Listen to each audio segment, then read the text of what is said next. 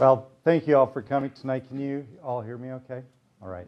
Um, so I really appreciate Montana Audubon inviting me to, um, in the last chance, um, to speak tonight. And uh, so what I'm going to do is talk about the Matador Grass Bank. But before I do that, I'm going to give you a little bit of context about uh, the work and just the Northern Great Plains and kind of what's going on in grasslands globally a little bit. So I, I, put this slide up because we're not that far away from having yellow fritillary starting to pop out of the ground. So I took this one last year and I thought, well, it's time, time to get ready. Spring's coming. So when we um, think about grasslands, they're not like number one on the charismatic list in, you know, like we don't, those of us that work in grasslands usually aren't in National Geographic kind of specials and all that sort of stuff. And um, if we look at grasslands around the world, there's generally basically two different kinds. There's either temperate grasslands or tropical grasslands. So a lot of the grasslands that we know and are really famous are the tropical grasslands in, in Africa. Um, and uh, temperate grasslands are sort of the breadbasket of the world kind of grasslands, if you think about them that way. Uh, those are the places where most of the grain is grown in the world. And because of that, they've undergone a huge amount of change. And if you look at, this is from uh, IUCN, which is an international uh, conservation organization, and they looked at temperate grasslands across the globe, and they identified uh, four different temperate grasslands that are intact enough that they still function at their sort of full scale and full level, or have the capacity to with some level of restoration. Two of them are in Asia, one is Patagonia in Argentina, and then the last one is right here in eastern Montana, uh, the western part of the Dakotas, and in Wyoming and part of Nebraska. So the northern Great Plains.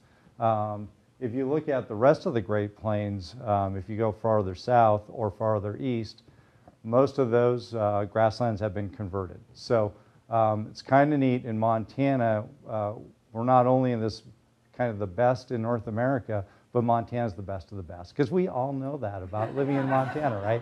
And there's nobody else here from anywhere else, right? so when we think about grasslands, the thing that's a little bit hard to visualize is that when you're out there in the grasses, ankle high to knee high in, in central and eastern Montana, you're looking at about 20% of the grass. The rest of it's all underground.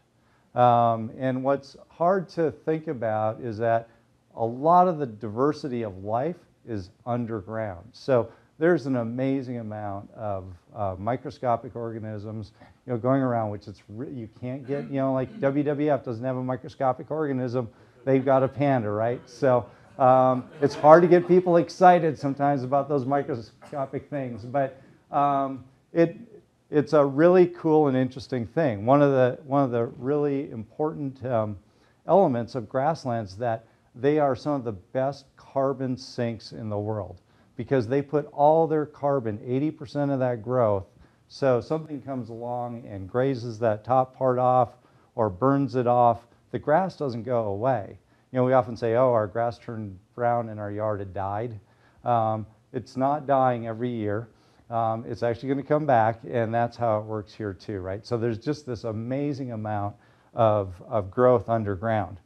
And the other thing to think about for grasslands, especially in Montana north of the Missouri River, is that 12,000 years ago, uh, we were all under ice uh, north of the Missouri River, right? So, and these grasslands have basically been forming and evolving and changing um, as climate warmed and climate kind of varied.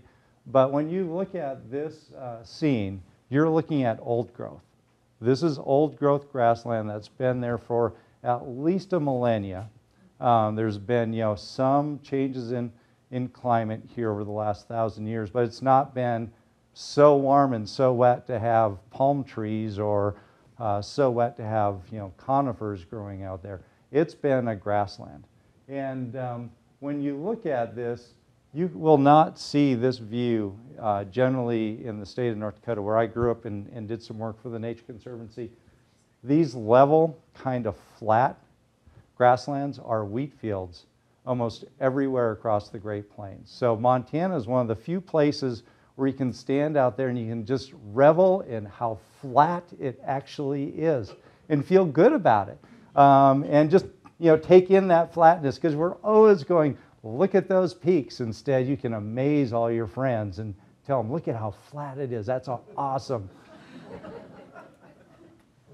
So some of the things that really like flat so you know i kind of joke about that and, and people um, um, you know, generally don't, don't do, you know, posters of flatness.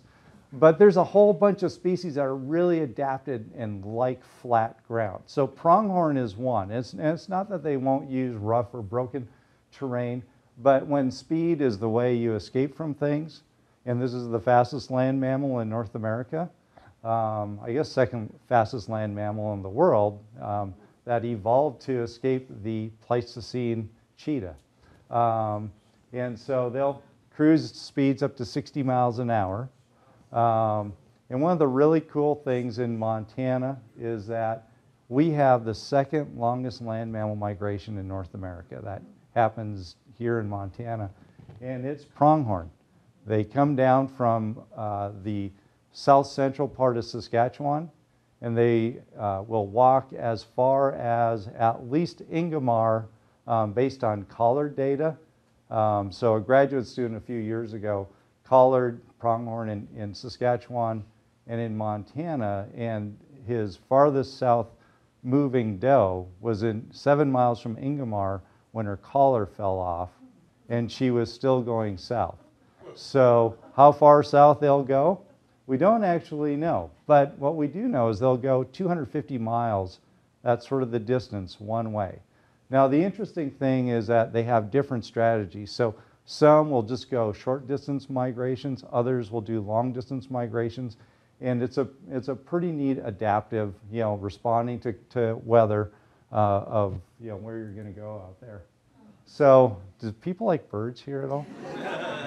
um, so, one of the other really cool things about grasslands in Montana is that we have this really diverse um, grassland bird assemblage. And um, the, the one tough thing about grassland birds, I just wish there was a few like red ones or, you know, I don't know, something that lights up or something.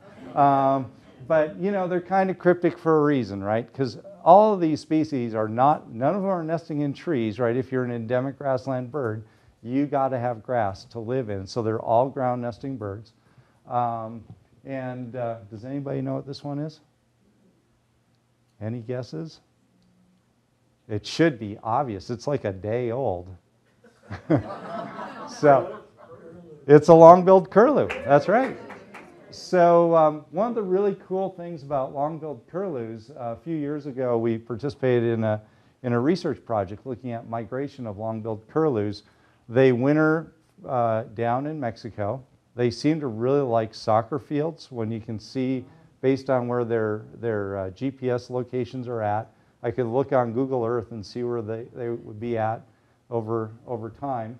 Um, and they, what they do is they, about right now or pretty soon, they'll start flying up into the panhandle of Texas and hanging out around playa wetlands, which are these big, broad, shallow wetlands. And they'll hang out there for about a month. And when they decide to come to Montana, uh, they would basically get up and go. And within a day to a day and a half, they would fly from the panhandle of Texas to the Matador Ranch, um, which just blew me away at the speeds they were covering and the, just the repeated patterns. Every year, they just came right up the front range. And the data that we have uh, was about every four hours you would get a, a point location. So you kind of connect the dots and you don't know if they flew right over like Denver International Airport or you know exactly where they're at, but just making these, these big, amazing moves. And when we look at our endemic grassland birds, um, there's, there's a few of them up here. I was just going to see if I could play a song for one, if it would actually, if you guys could hear it. So, have who here is, uh, you can admit it, um, that you've gone out and gone bird watching out in eastern Montana or in the central part of the state? All right, we got a few people. So um, um, if you are just a part-time birder, a lot of people will call everything a little brown job. So it makes it easier. The list is pretty short. Um, but um, can you hear that?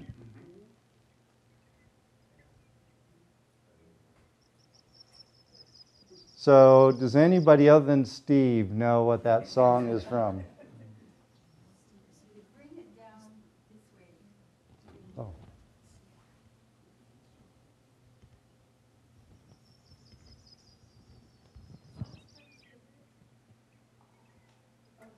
Did you hear what she said?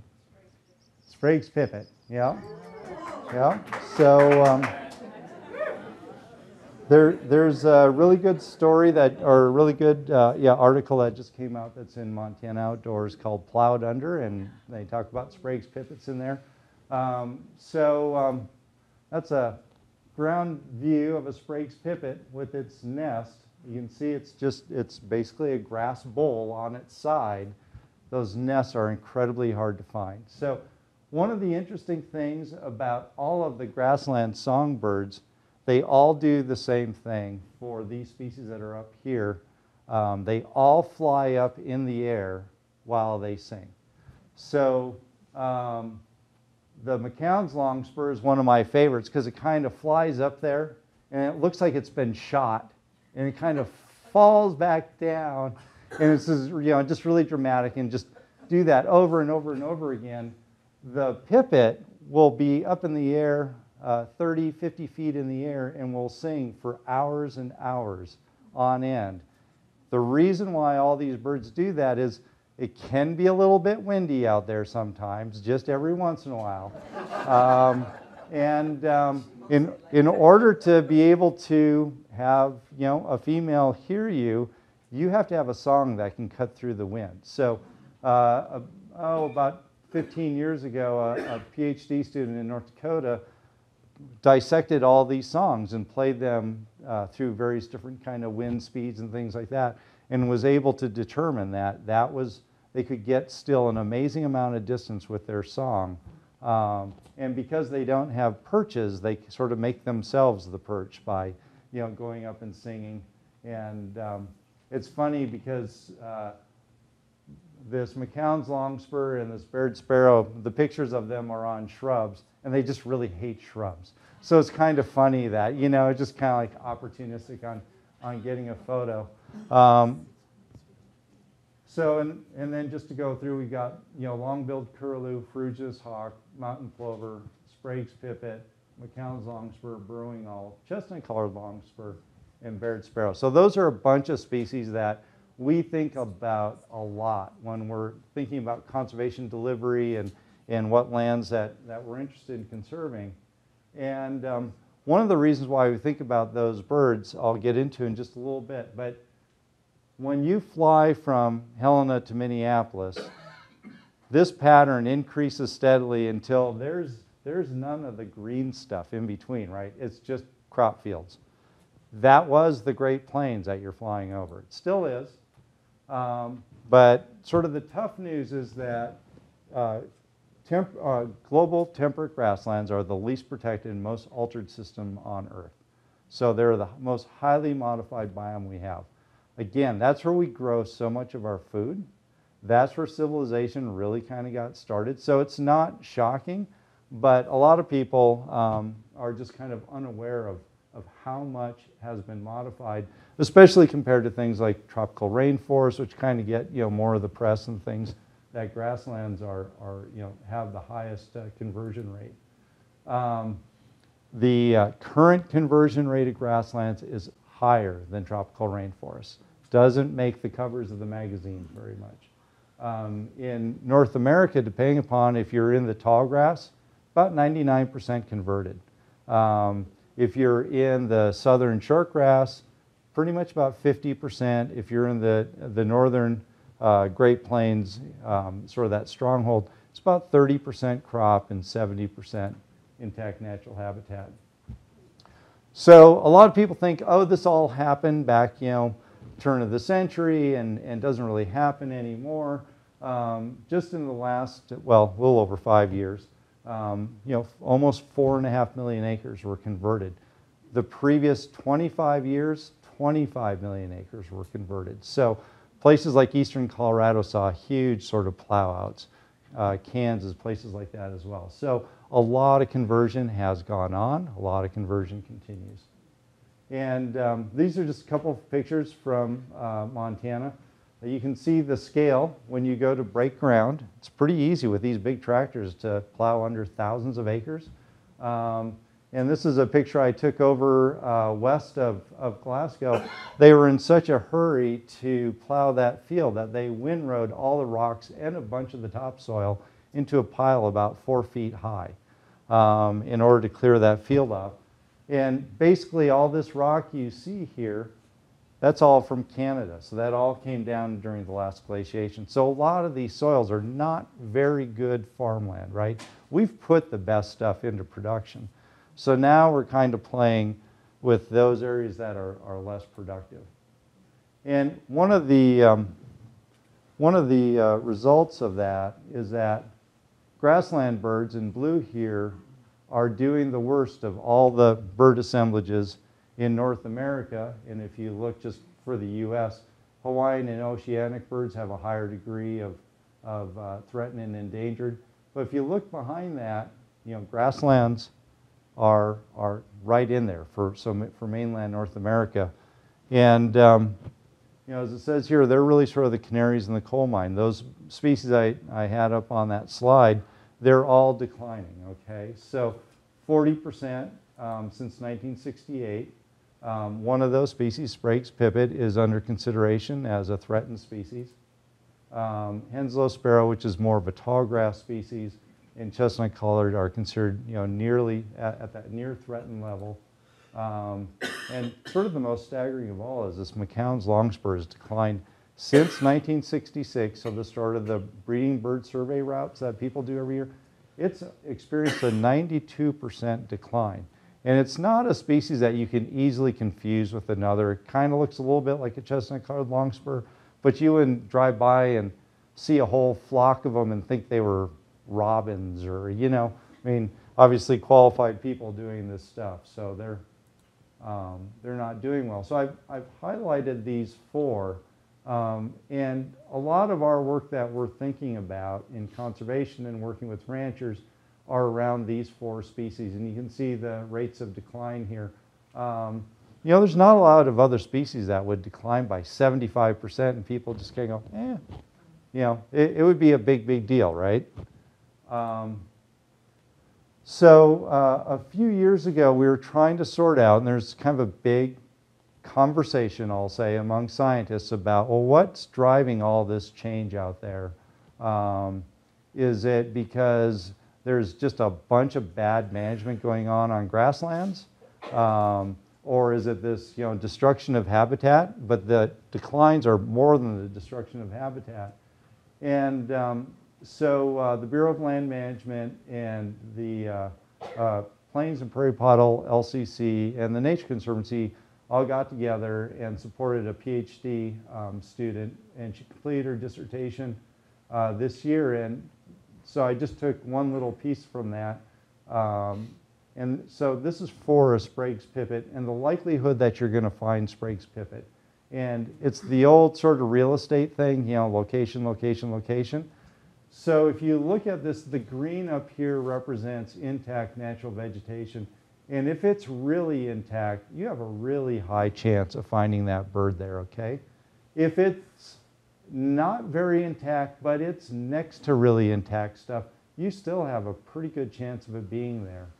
If you compare that to a landscape that's been really fragmented up, lots of farming, lots of um, cropping, probably tree rows, those sorts of things, even when it's mostly grass, it's not as good as not very much grass when it's not in a good location.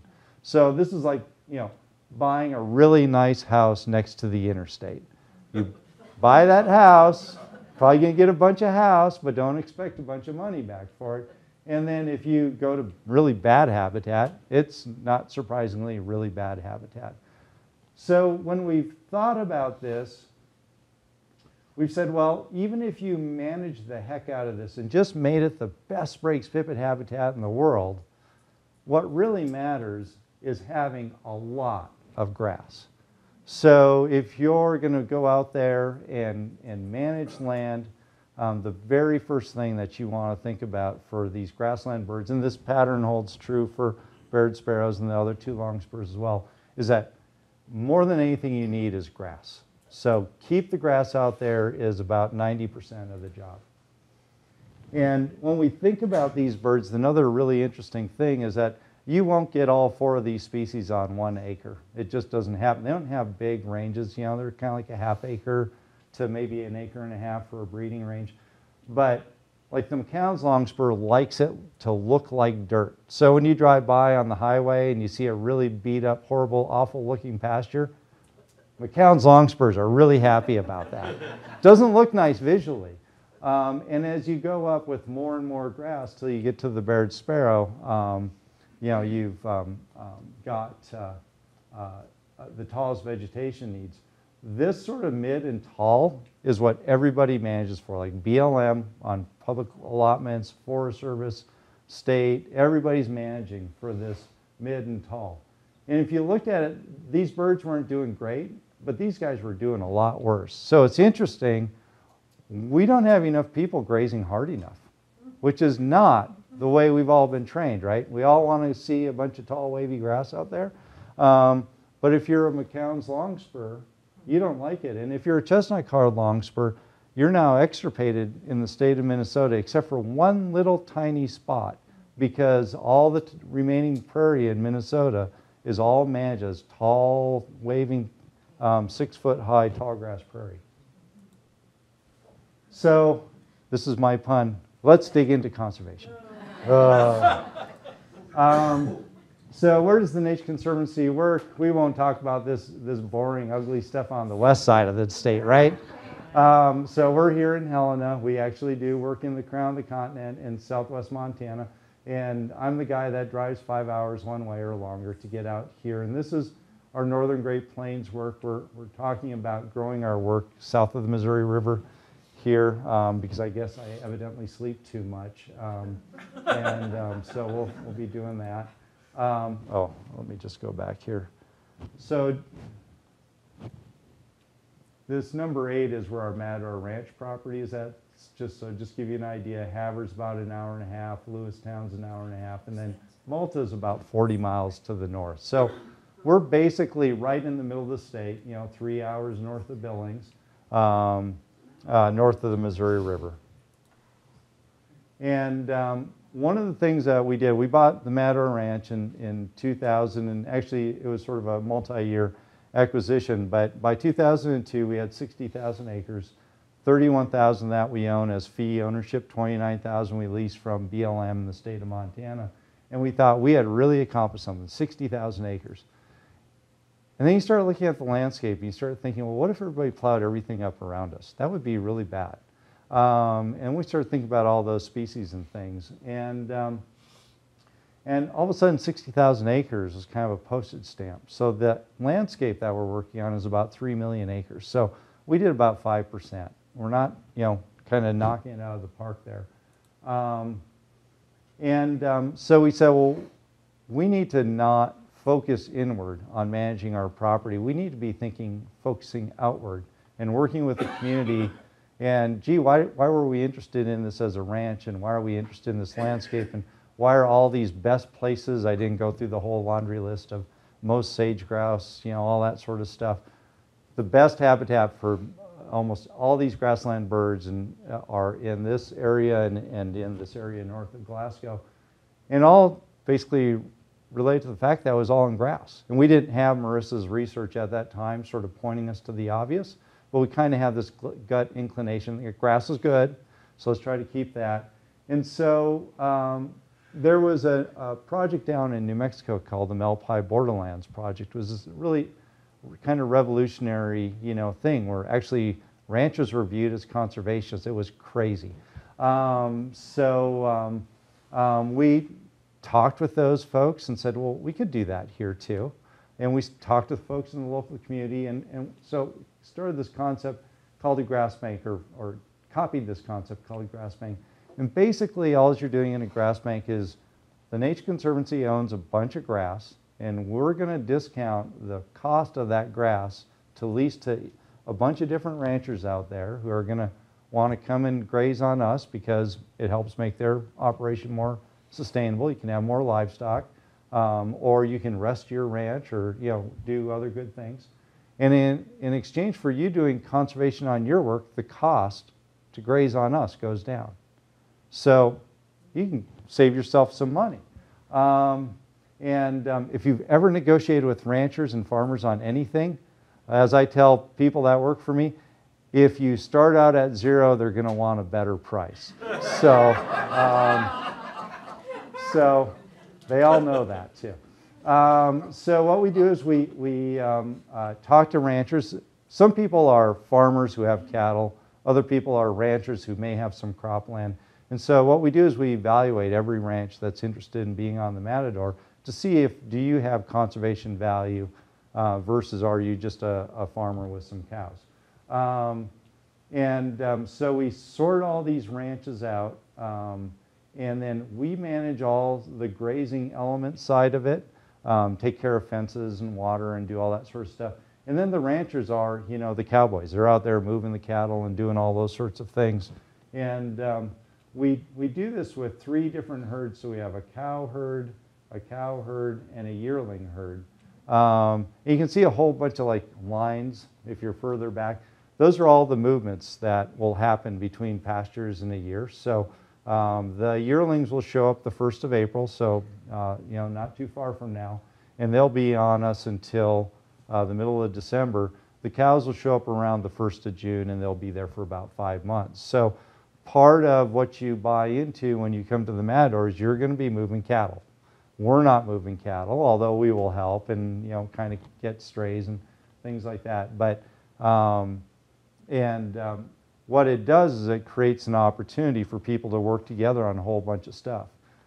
The other thing that we did, which everybody said you can't do this, and I talk to people today, they still tell me this isn't possible, you're not really doing it, is that each of these colors represents anywhere from like five different ranches, five different ranches, to like uh, 12 different ranch operations. So all these people are commingling their cattle together. Okay? So what that means is that you bought a bull for like $3,000. Your neighbor, of course, never has as good of bulls as you. Um, but you guys are all putting your livestock in together, and you're all just taking a chance on whose bulls are you know, going to be with whose cows. I don't think I have to go any deeper on that. Um, but um, um, so um, it, it's a, sort of a real leap of faith. What it does is it really strengthens the community of people because they're all now talking about um, what cattle, what bulls, and we also sort of um, segregated out so we allow livestock that are what's called we call it Angus influence. So you can't put a white cow out there; it's got to be a black or a red. Um, so there are some standards on on that side of it. And the other thing that we we do is um, in our lease, which is a pretty lengthy document, we have very specific criteria that the ranchers put in about health requirements for all those livestock out there. So we're the enforcer, but we're just enforcing what they are telling us what to do with those cattle. So enough on the cow side. Um, basically, the way it works out is we charge $26 for a cow-calf pair for a month, which is about market rate. You can go higher, you can go lower. Um, and then for every one of these discounts, you get dollars off. So most of the discounts are based on your deeded property. So I said before the matter is about 50-50 private and 50% um, state federal. That's a really common thing in this part of the world, and it, it varies. Some ranches have almost no federal or, or state leases. But um, so we're giving all these discounts or offering these discounts on, on their private ranch lands. And then we have some, like prairie dogs, on public lands as well because um, it has an operational cost for ranchers and we're trying to encourage people to retain as many prairie dogs out there as possible. We have a requirement, you have to run your livestock in common. You have to not ever sod bust. If you break ground and you're in the Matador grass bank, you can never come back. So we didn't want people dropping off their cows and making wheat, you know, off of grass um, somewhere else. You have to have an approved ranch management plan. We don't want you know, people that are participating with us to have, you know, the worst looking ranch in the country.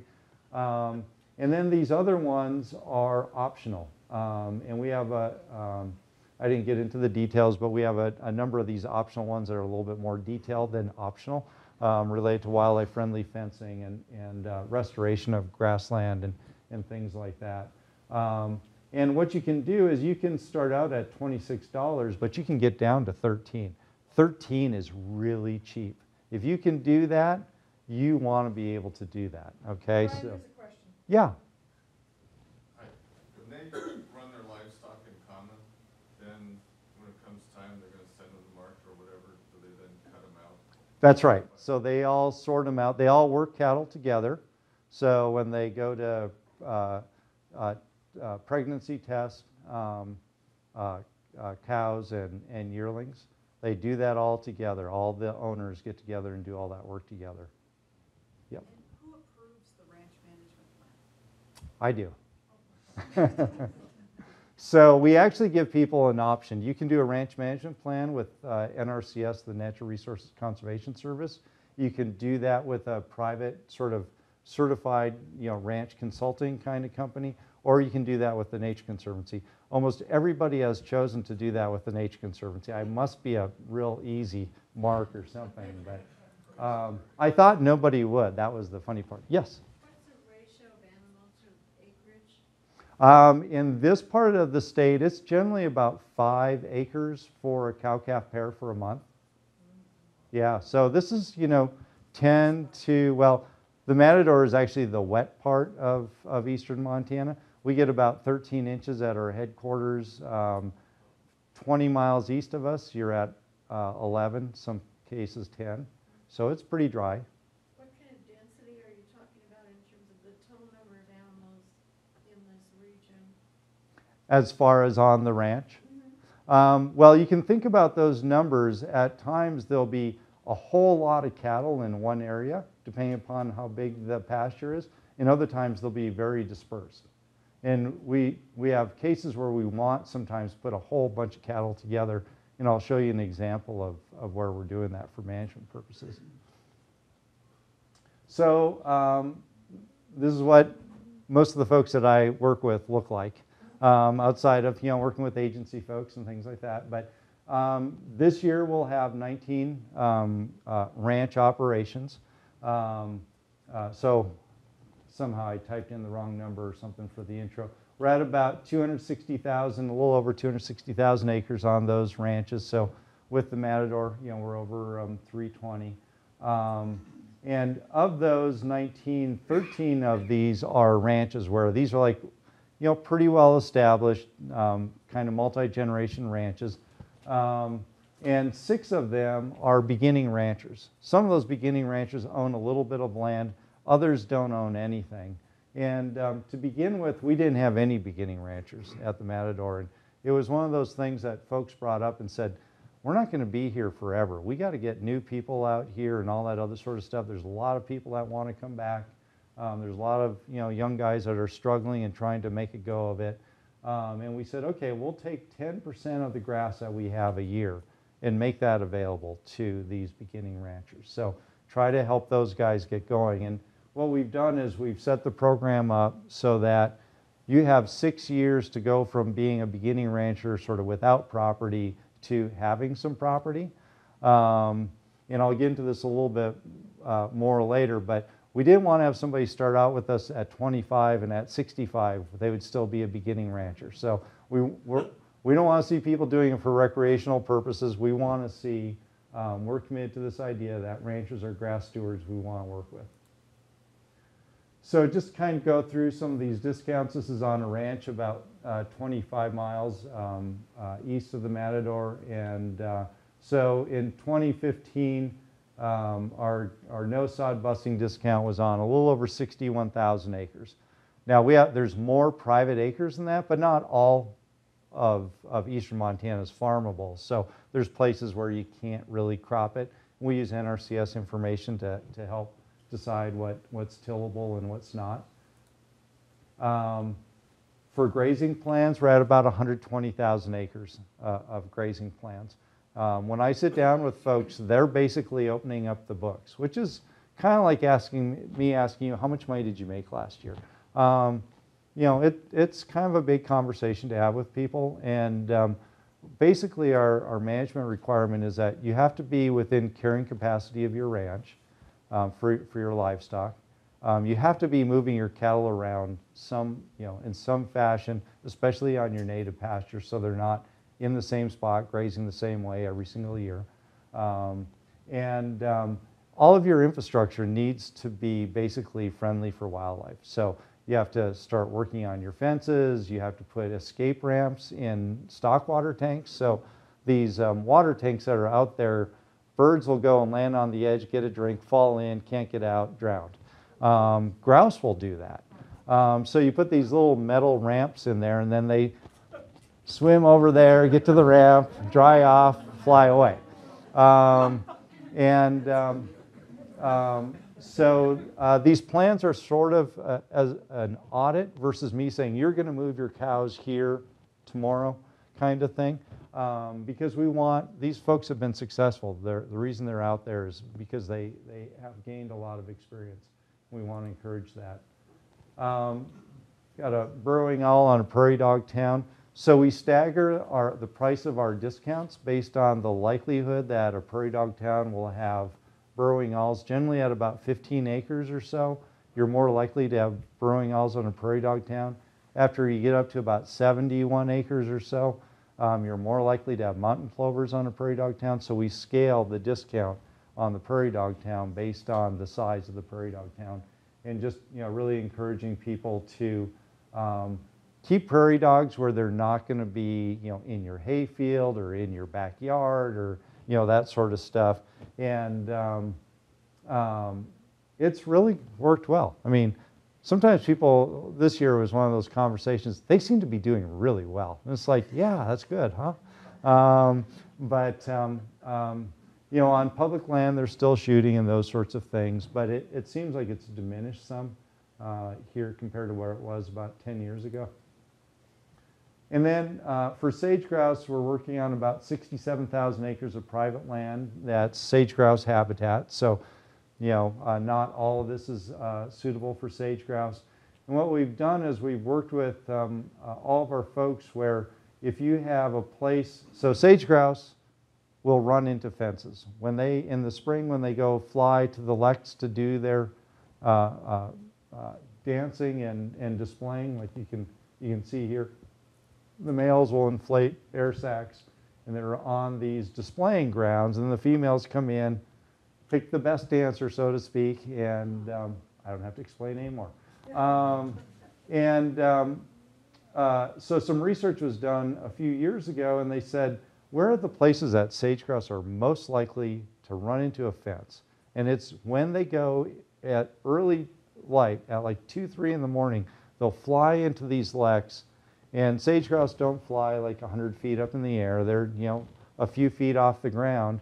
Um, and if it's really flat, they fly really low. And so um, they would be hitting these fences, and a guy figured out that you could create more or less a predictive way of figuring out where grouse are most likely going to run into fences. Um, and so what we've done is we've gone around and we have, if somebody has a fence, so probably the center of the lek is here, um, you put these little reflective markers on the fence, and the grouse can see the fence because it's not, you know, this little thin black line in the middle of the night. Um, and it will eliminate about 95 or percent or more of those collisions that go on out there. Um, and so all of our ranches, uh, in order to get that discount, have to have those sage grouse markers in these high collision areas. They have to sort of account for the whole life cycle through their management plan. Grouse like everywhere from you know as short as you can get it to nice tall kind of stuff under under uh, sagebrush and everything else. And then you also have to do those um, um, escape ramps. So, you know, we've, we've done all that on average every year. We're discounting somewhere about $65,000, $70,000 off of the income that we could be bringing in. Um, so we're putting real money out there.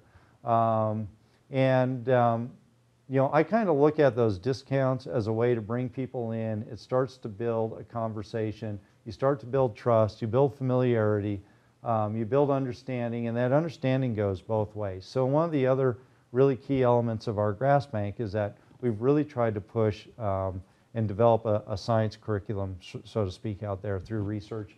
And every year for the last, this will be our year number six, coming up on June 15th, we have a Matador Science and Land Management Symposium. Last year we had about 110 people show up. Um, they're uh, agency folks and ranchers and um, um, other people who are sort of curious. Um, we have people from Colorado, Alberta, Saskatchewan, um, South Dakota. So we're, we're kind of getting people from around. Um, and this is just an opportunity for people to take a breath in, in the summer, which is hard for field biologists especially to do. Go out there and just have a conversation about what's some of the new science that's going on out there and what's some of the new research and really trying to bring people together. Um, and um, one of the other things that we're doing is saying, okay, well, historically fire had a big role in this landscape. So we know about every 8 to 12 years based on tree ring data that there were fires in this part of the world, maybe even a little bit more frequently than that, both set by Native Americans as well as from lightning strikes. And so we've started a, a fire program out there. Um, not exactly a raging inferno until you stand next to it, and then it is really hot. Um, this fire is backing, um, so the flames are a little bit lower, and you can see here it's like really short and green uh, versus where it's not. So if you're a bird that likes short vegetation, you show up, that's like primo sort of stuff there, right? Um, the other thing that we're doing, which I, when I went to college a million years ago, as my daughter would say, while the dinosaurs walked the earth, um, we throw cattle in on these areas as it's up and growing. And it's called patch burn grazing. Historically, that's the way it would have worked with bison and elk and antelope and everything else that were out there. They go out there really attracted to that young green vegetation. They mow it down that much more. We have a master student at University of Montana that's studying this now. So um, we can understand it a little bit better, um, both from the wildlife perspective as well as from the livestock production perspective and from the vegetation perspective. And um, one thing is that it's not only sort of green and delicious um, for cows, but it's super high in protein. So we had a, a student um, do uh, some work out here on small mammals and uh, just as an undergrad, and he found that all the small mammal traps were filled over here, and he could hardly find a small mammal on this side over here. So green is really good in grasslands. Everything likes green. Here's a question. Yes, sorry. Um, do you typically burn at any particular time of year? Like if these grasslands, you've got all these birds that have their nests on the ground and Right. chicks on the ground. Yep. So we start burning, uh, we'll start in about a week and a half. And we'll be done by 10th of April, 7th of April, something like that. So it's a pretty narrow window. Um, a few birds will be there. Uh, you'll see like raptors kind of know it's up right away because all of a sudden there's not any cover if you're a small mammal. Um, so there's a bunch of things looking for food when you do that, but we're missing that whole window of, you know, most likely, you know, destroying a nest or anything like that. And that's probably, we're probably really sort of mimicking mostly a Native American burn cycle. So Native Americans would have been doing the same thing, create all that green grass, makes it a lot easier to hunt, you know, wildlife if you know where they're going to be. Um, the, um, another fun project that we have going with the Alberta Conservation Association and the University of Montana is that these fences out on the landscape have consequences. Um, so, you know, things will perch on them, um, and they also can block wildlife movement. So, uh, if you've never seen this pronghorn, uh, basically, I don't know if they can't, because I have seen them jump fences. They prefer not to. Like, they never want to. Um, so, outside of very rare circumstances, they'll go, they go under these fences. Um, and the fence needs to be a certain height, and, and that's kind of been well known for a period of time. The problem is that you've got thousands of miles of fence, hundreds of thousands of miles across eastern Montana, right, where we have pronghorn. So you can't go and just fix every one. I mean, we would be rolling up fence forever. And so what we're doing is we're testing different things. You can't probably see this very well, but these are little metal carabiner clips, you know, don't cost you very much money. And so um, we've got a bunch of different things going on, but where we've uh, put those clips, um, the pronghorn then will select for those locations and, and go through in those areas. Um, the other thing that we're doing is also looking at smooth wire, so you have those barbs on the barbed wire. And if that fence is set low and they really want to get through, what happens is they will, over time, wear off their coat. Um, so that picture is taken in Alberta, where I guess they still have winter. We don't evidently in Montana.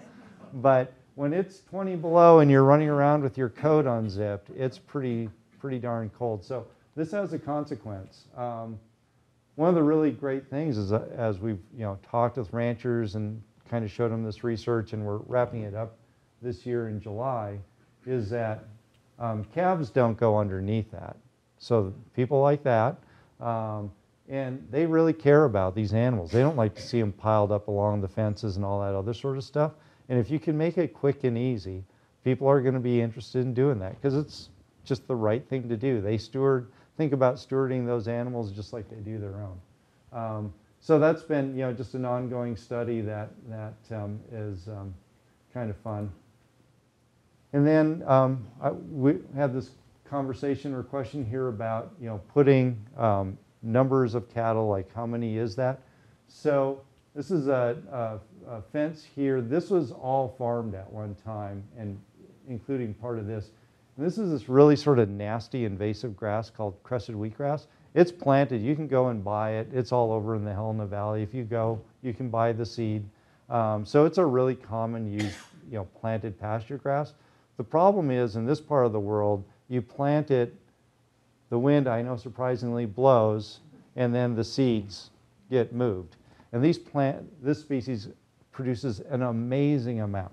So in a, in a square, so in a three foot by three foot area, crested wheatgrass will produce more seed than all the native plants in a similar sized plot um, put together. So it's producing way more.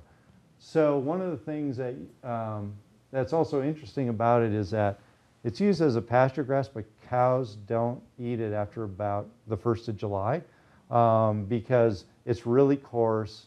It's not very nutritious, um, so they don't like it. And um, so what you get are these places where it'll just be acres and acres and acres of just this ungrazable sort of cardboard out there. And when you put a lot, a lot of cows into a small area, you can force them to eat it. And then they'll change it. It'll all of a sudden be more like a lawn, and they'll like it and they'll graze it. The other thing that's really good about that is that this is most active and best growing and most, most nutritious at the time when the native grasses are the most susceptible to grazing pressure. So we're now incentivizing people to increase their density and development of, uh, because everybody's got this on their ranch for the most part.